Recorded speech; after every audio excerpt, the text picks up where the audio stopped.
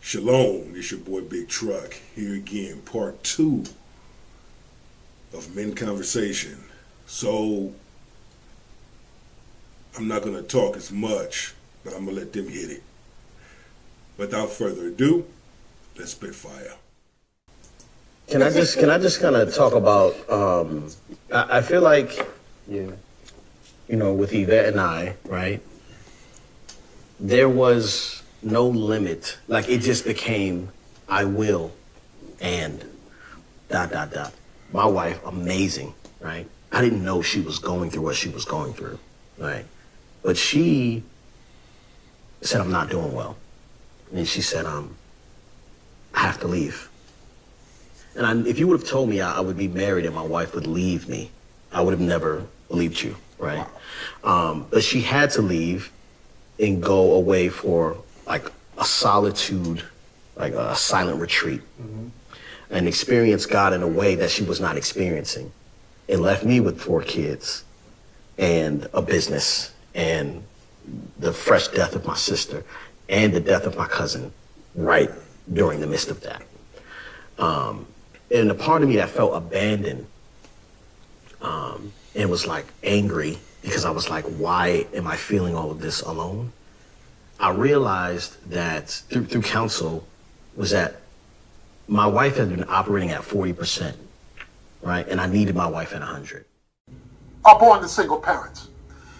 When there is no man in the vicinity, you can expect there to be chaos and confusion in the environment. I receive what the brother's saying. In a marriage, you're going to have challenges. What do you do when life happens, when life throws you a curveball in your marriage?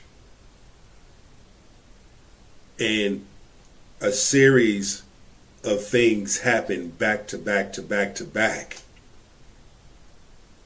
What do you do? Do you A, stand with your partner? B, let's pray first. Whatever Elohim wants us to do, we're going to do. But we're going to stand together through this or B, leave and abandon the marriage or relationship because it's too much. Most don't know what to do in the midst of a storm.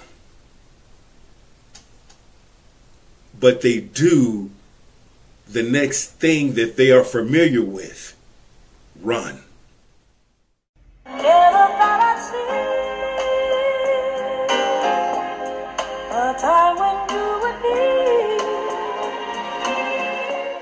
Sometimes you need to be alone so that Elohim can talk to you, so that you can hear his voice. So there, there's a lot of things going on there. Let's continue. And so I just want to bring that to the table as we talk about lost love, whether that be in failed relationships or in marriage right now or in relationship right now. It's like sometimes it ain't, it don't feel right, you know? Yeah. So can we discuss that? Rodney. I'll go. um, so I've been in two very long-term relationships. Well, long-term relationships. One of four years and one of seven years. And um, the relationship that I was in with, for seven years with the most amazing, beautiful, kind, warm-blooded woman that I've ever known. Um, to this day, she is still my absolute best friend. When I go through joyous moments, she's the first person I want to call. When I go through hardship, she's the first person that I want to call. Um, but I decided to end the relationship maybe like four years ago uh, because I was not in a place of being able to reciprocate the love that she was giving me. And it's a tough thing for men to, like, it's not you, it's me right? You can't you can't really say that. But at the end of the day, like I can't give you what you're looking for right now because I don't know who the fuck I am. Mm. I do not know who I am right now. And you're looking at me for these answers and for these definitive actions.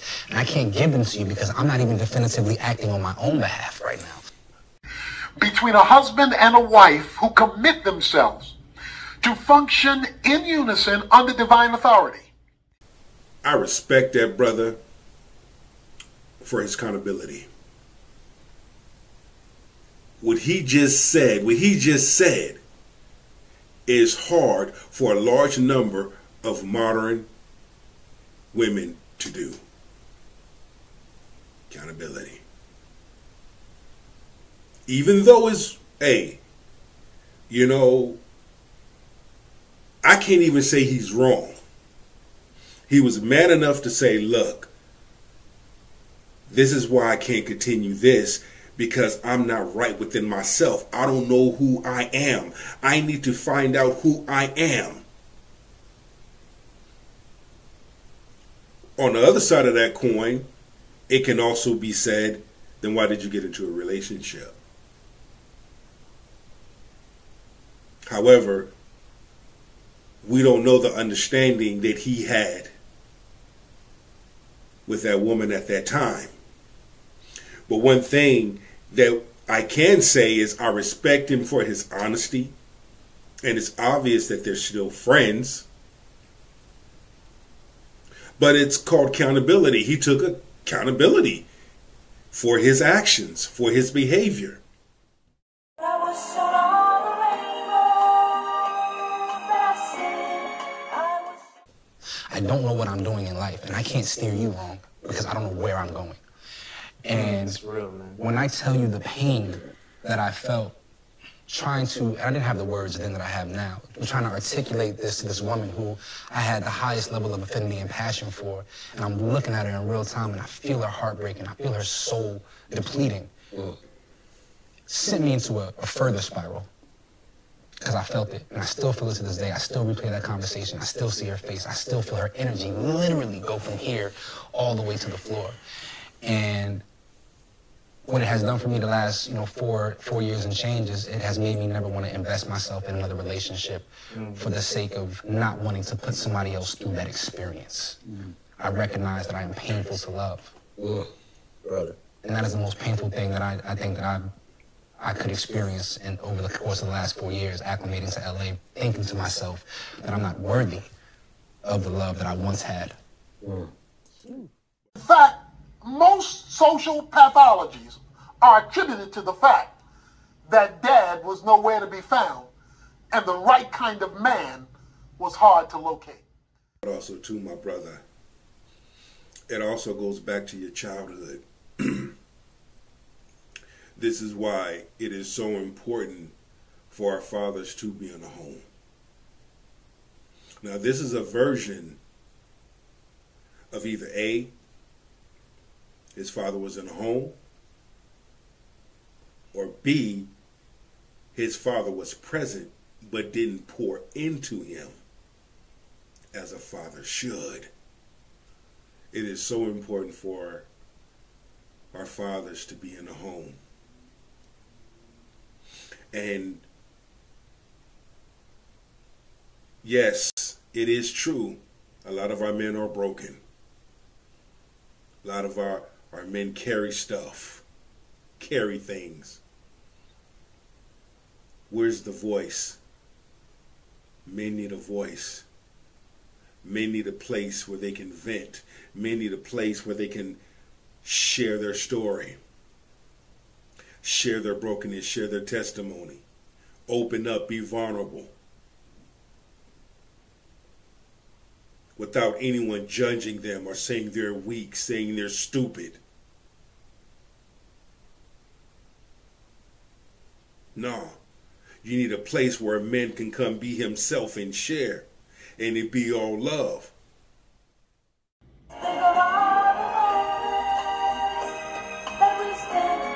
I just. Hearing that, that is a lie that you're not worthy of the love that you once had, though, for sure. You know, that's that's a deep-seated. There's there's a thing there. There's a it's a it's almost like a spiritual thing. There's there's something there, um, but it's a lie. I recognize that now. Yeah. I recognize I, I'm coming out of that now. But now it's tough because I live in LA. So you're like, oh, So shit. go back to her. Uh, it's not just that easy. It sounds It's like not. it It's is. not. It's not that easy, man. The way you just talked about it, I hope she see this and wants you back. I think yo, love is tough, man. Love is tough to navigate, and I think that so many times we talk in indefinites. And you know, I'm a I'm a Gemini from Jersey who grew up in two households. My whole life has been split, living in two worlds. So it's never just nothing is ever just like one Yeah, thing, and that's yeah. it for me. Yeah. I gotta. I, don't, I still don't know. Um, I have to challenge that. Um, Oh, this is. Oh no, this is what I signed up for. well, no, no, no, no, no, no, I'm no, messing no, I'm you, sorry. with you. But you know, I, I think that sometimes we, and I, I don't know the exact situation and all that, right? Mm-hmm. But I've watched people leave relationships because they weren't ready or something wasn't right.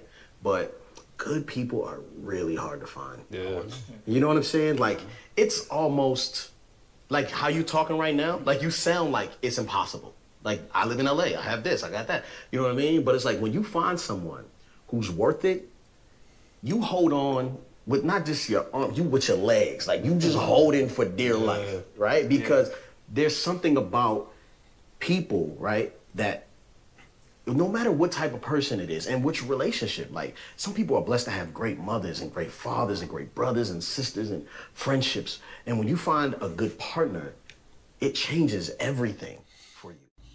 When God created marriage, your happiness was not his first concern. when you when you find a good partner it's that feeling that resonates in your in your in your heart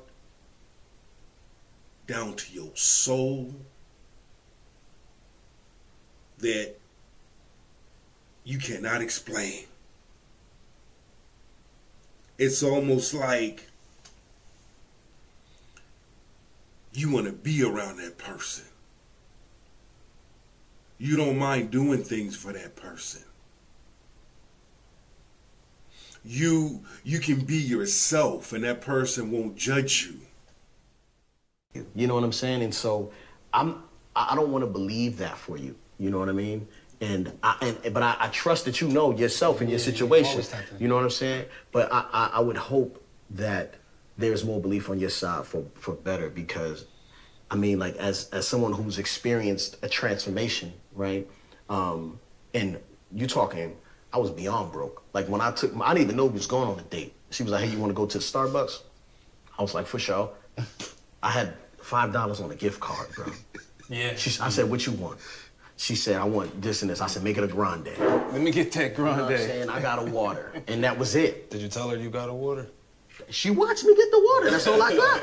Because you know, sometimes we go get the water and be, put it in a cup. Nah, like, nah, nah, So she nah. know My you cup broke. was clear. Oh, you, you want her to saw the. H2O in that joint. You want, you know let her know that you ain't had But it. wasn't that like when you find good people who it doesn't matter about how much money you make or whatever the situation is, like it's Yeah.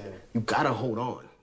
I feel it's time we should make up, baby. You know, and so I don't know if that's worth it or worth pursuing or that but man, I, I hope that you can make something like that work. Yeah. the portion about uh, nothing being just definitive, I can agree. You know, but I also know that like in my mind, it's all it's it's limitless in either direction. Like there is power in choice. There's power in definitive action. There is power in standing present and waiting. And there's power in learning what all 360 degrees look like, right? You may not live in every angle, but you will have observed several things. Men's mental health, men's spiritual relationship, men's growth. Continue in all those areas. Men's personal life. Continue to grow in all those areas. And please, Please, please, please, please, men, enjoy living your best life. Until then, one.